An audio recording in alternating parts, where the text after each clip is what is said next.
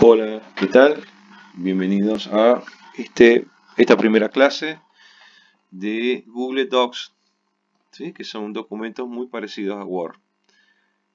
Lo primero que tienen que hacer en esta actividad, nada más es desde el Classroom crear un documento de esta manera. Vamos a, este botón más, añadir, añadir o crear un documento Google Doc, eh, muy parecido al Word.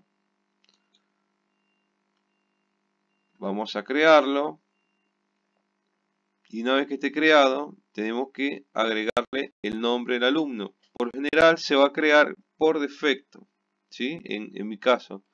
Si no se crea, van a tener que abrir el documento como lo, como lo acabo de hacer. Voy acá toco una vez y puedo empezar a editar. ¿sí? En, mi caso se creó completo. Juan Bautista Rojas Leoto, mini curso. Yo lo que sugiero que borren si se le crea automáticamente. Si no, lo tienen que escribir. Ok, para esta primera clase solamente tiene que crear el documento con su nombre. Una vez que lo eh, crean, entregan.